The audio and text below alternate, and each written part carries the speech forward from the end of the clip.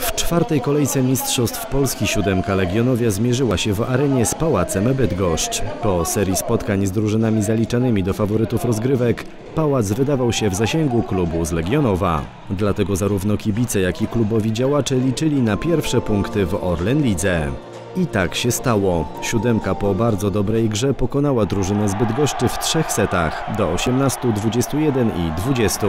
Taki wynik był dla gości ogromnym zaskoczeniem. Gratulacje dla zespołu y, z Legionowa trzech punktów. Y, Szczerze powiedziawszy to nie wiem co mam powiedzieć, bo przygotowywałam sobie mowę y, po meczu wygranym, natomiast myślę, że po raz kolejny pogrążyły nas błędy.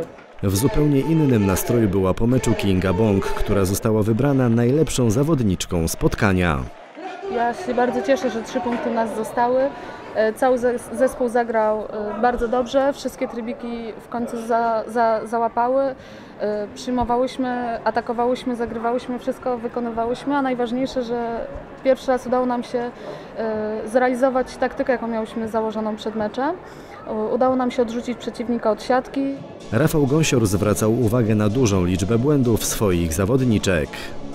Zespół z Legionowa zagrał bardzo dobrze, z determinacją, yy, no generalnie pewnie.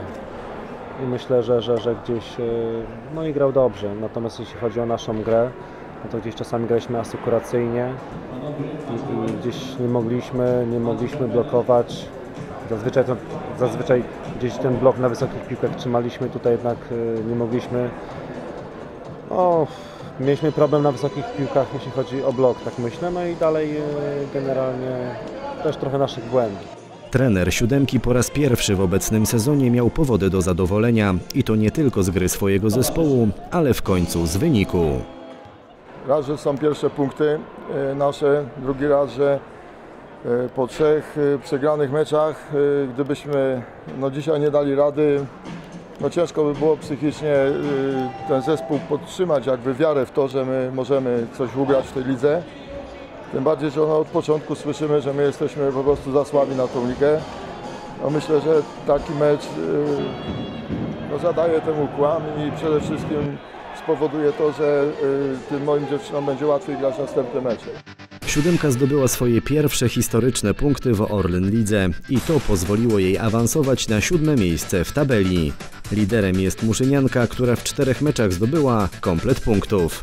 Trzy kolejne drużyny mają po trzy oczka mniej.